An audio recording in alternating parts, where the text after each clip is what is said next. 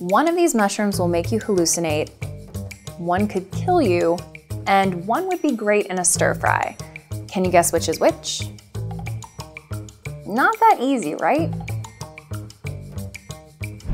Unfortunately, poisonous mushrooms usually aren't brightly colored like some other poisonous animals or plants, which means it takes some serious skill to be able to tell the difference between mushroom species. So please do not eat random mushrooms because you watched a YouTube video. All right, time to test if you can tell the difference between perfectly safe and perilously poisonous. Oh, and let us know how you did in the comments. First up, which one of these would you eat? A or B? Mushroom B is known as the death cap. Very few people die from mushroom poisoning each year, but when they do, the death cap is usually the culprit. Just one mushroom could be enough to kill you. The death cap contains two molecules that bind to the enzyme RNA polymerase II. RNA polymerase II normally transcribes DNA into RNA, which is the first step in making proteins. With RNA polymerase II blocked, your cells stop making proteins and start to die. Vomiting, diarrhea, and cramps will usually begin about six hours after eating the mushroom, depending on the dose.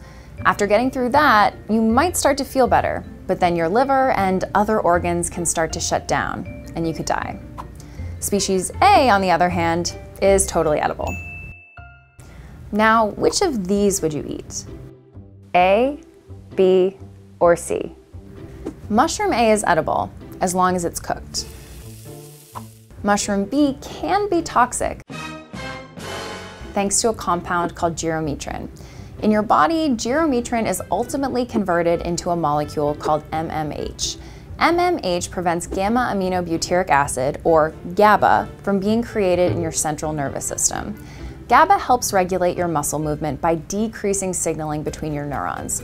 If you have less GABA in your system, your neurons will start signaling more, which can cause deadly seizures. Luckily, death by this mushroom is extremely rare, but oddly enough, some people can actually eat these raw and not get sick. Scientists are still trying to figure this one out.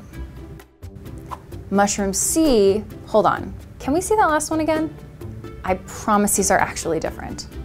Okay, so if you chose C, you're probably fine.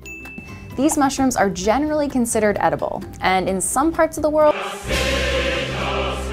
they're sold in stores like any other edible mushroom. But they can cause an upset stomach and a lack of coordination. Why? We don't really know. The chemistry isn't clear yet, so we'll call this the wild card mushroom. Up next, which would you eat? A or B? If you chose A, nice work. This is the shaggy ink cap, or shaggy mane, and it's edible. If you chose B, you may be in trouble. It contains coprine, which isn't an issue unless you're washing it down with alcohol. Say you're drinking a beer. The ethanol is broken down into a toxic molecule called acetaldehyde, which is then converted to non-toxic acetate, and finally into carbon dioxide and water, which you exhale and pee out. Coprine blocks the activity of aldehyde dehydrogenase, so acetaldehyde starts to accumulate and that can poison your liver. Within 15 minutes of drinking, your heart will quickly start to race and beat irregularly. You'll feel warm and begin to flush, and your arms and legs will feel heavy and might begin tingling. And the crazy thing is that if you drink alcohol within even a few days of eating the mushroom, it can still affect you. Okay, last one. How about this cute mushroom? You probably recognize this mushroom from Mario. Yep, it's that mushroom. So is it edible, toxic, or hallucinogenic? It's actually toxic and hallucinogenic.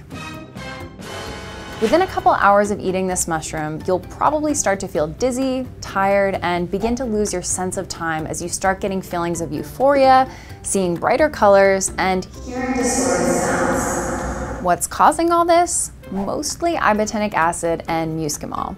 Muscimol is better understood. Principally responsible for the trip. Ibotenic acid is also considered a hallucinogen, but it's toxic as well. It's been shown to cause brain lesions in mice, rats, and monkeys.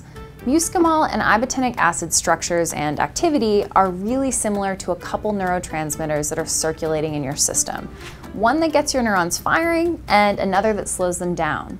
But unlike those neurotransmitters, muscimol and ibotenic acid can move into your brain and throw its chemistry for a loop. Some people who want to eat the mushroom and not trip out will boil it to try and get rid of muscimol and ibotenic acid, but there's no guarantee that will work.